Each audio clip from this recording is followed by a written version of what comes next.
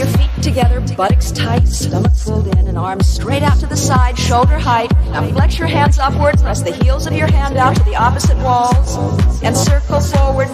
Two, three, four, five, six, seven, eight, the time and.